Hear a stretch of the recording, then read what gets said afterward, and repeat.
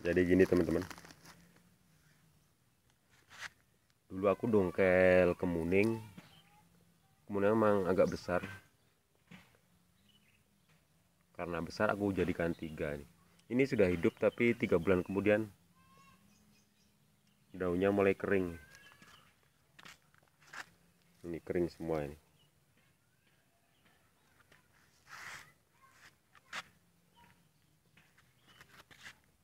ini nggak tahu kenapa apa karena aku taruh di tempat yang panas ya. Ini ini kemudian aku taruh di tempat yang panas ini nggak ada nggak ada apa pelindungnya. Jadi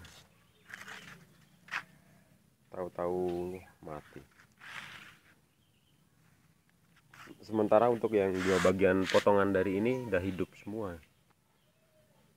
Dan sampai sekarang masih bagus.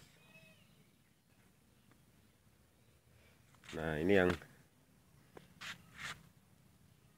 ini yang dua bagian ini sama ini. Semuanya hidup semua.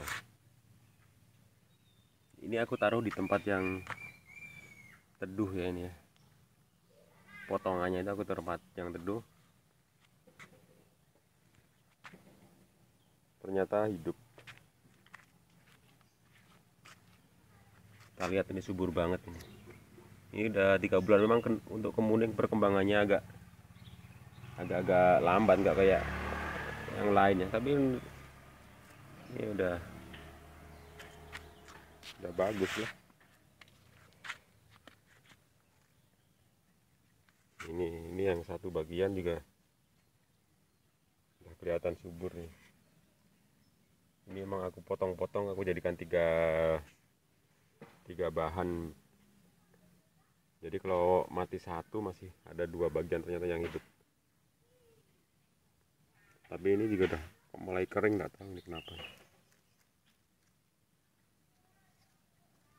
mungkin karena aku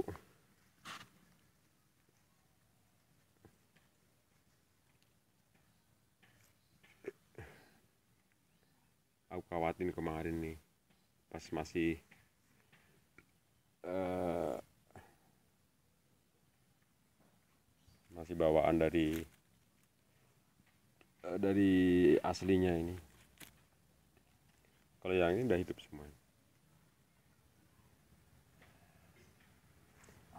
Jadi memang untuk bahan-bahan yang baru tanam tuh baiknya ya dikasih tempat yang teduh. Biar nggak kena matahari langsung sehingga per, uh, untuk penguapan batang itu ter terjaga ya.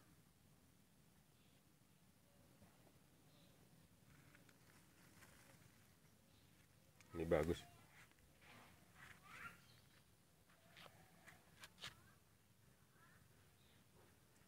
Ini dongkelannya bawahnya ini besar nih. Aku tanam aja nih. Ini cuma kelihatan atasnya aja nih.